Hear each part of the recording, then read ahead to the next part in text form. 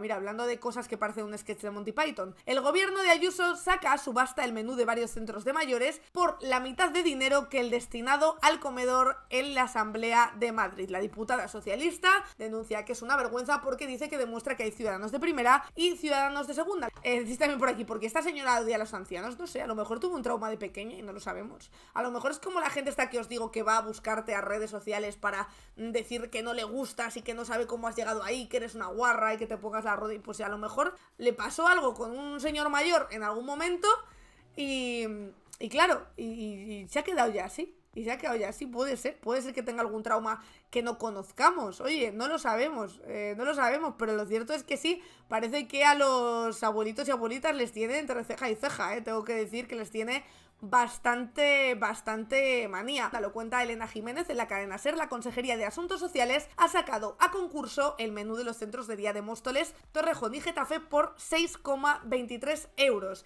En ese precio se tiene que incluir el desayuno, la comida y la merienda. Y además la materia prima, la elaboración, el transporte hasta los centros, la atención en los centros y la limpieza, un precio que está lejos del que se ha establecido en el concurso para dar las comidas, por ejemplo, en la Asamblea de Madrid en su comedor. Ahí el precio por el que se licita el contrato es de 15,25 euros solo por la comida del mediodía. Hostia, pues ya te puede ir el Jordi Cruz malo a cocinar el menú. Para la diputada del PSOE, Lorena Morales, esto es una vergüenza para Ayuso, para el Partido Popular de la Comunidad de Madrid, porque hay ciudadanos de primera y de segunda. Total, según ellos, se iban a morir igual. Dignidad para las personas mayores, no nos vamos, dice, a cansar de reclamársela desde el Partido Socialista. Fuentes de la Consejería de Asuntos Sociales se limitan a decir que el precio total son 7,29 céntimos, porque añadirle el IVA y que son precios de mercado. Pero lo cierto es que las comparaciones son odiosas y hombre, de un menú de 6,23 euros, que además ya no es un menú, es que incluye desayuno, comida, merienda, materia prima, elaboración y transporte,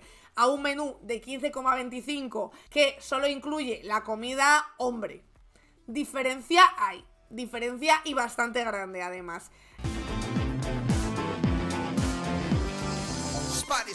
Revolution.